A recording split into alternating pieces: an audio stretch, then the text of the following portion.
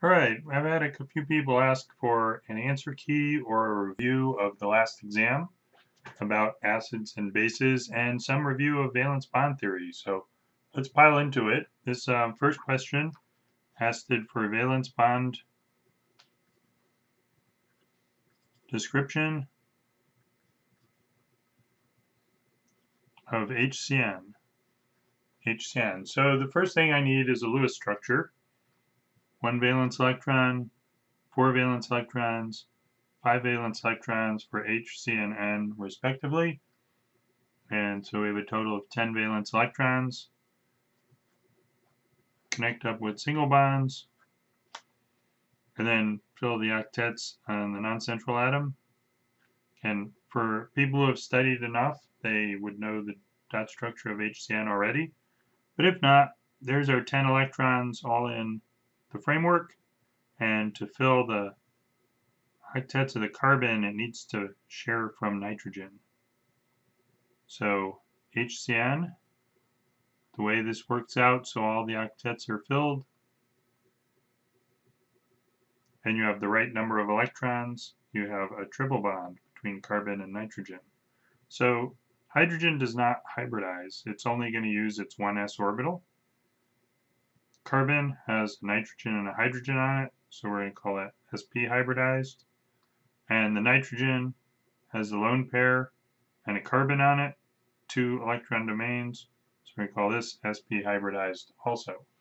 Um, some people say that terminal atoms don't hybridize, but I think to accommodate the lone pair and the carbon, it's reasonable to think that those two are going to avoid each other, make a linear structure, and have sp hybridization of the nitrogen.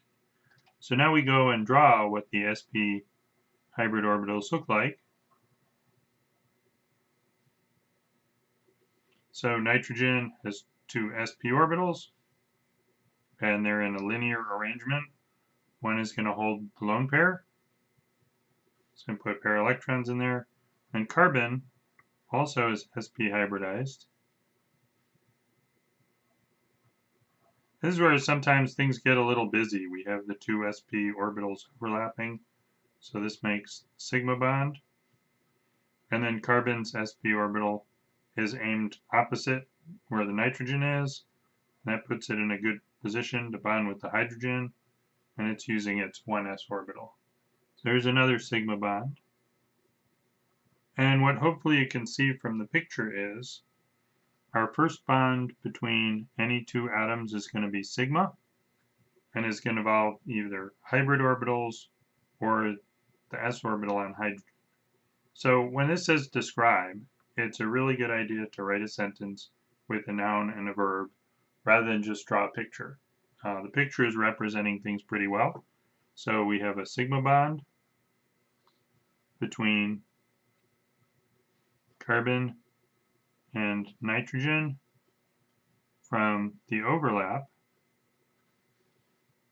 of carbon sp and nitrogen sp orbitals.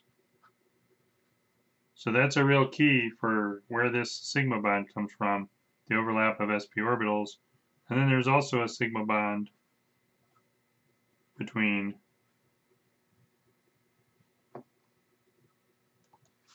carbon and hydrogen from the overlap of the carbon sp and hydrogen 1s orbitals. So there's the sigma framework. And then anytime you make sp orbitals, use s and p atomic orbitals, normal atomic orbitals, that leaves us a few p orbitals left over.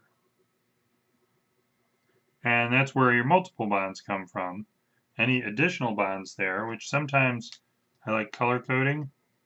So if I had a bunch of colored markers, I might go ahead and make the entire pi system in red. Or, sometimes even better, make part of the pi system in one color,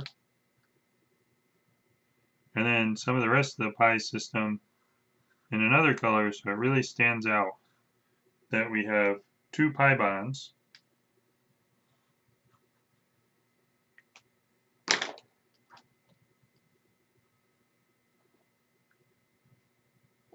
between carbon and nitrogen. So these p orbitals,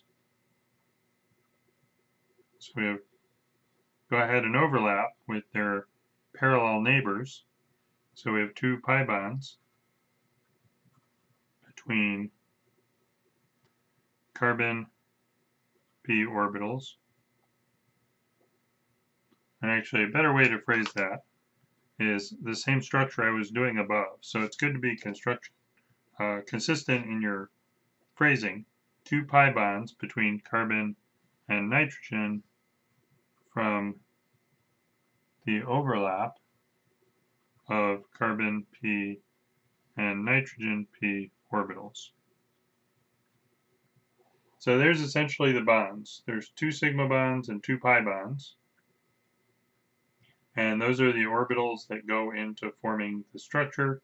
And if you wanted to address it in a sentence, you can put the lone pair of electrons on nitrogen is in a nitrogen sp orbital. If the question asks you to describe the bonding, that's a non-bonding pair, so it doesn't really fit in with our bonding picture, but it's a nice piece of information as well to show that everything in the Lewis picture is accounted for in our valence bond picture. So there it is, valence bond description of HCN, a couple minutes.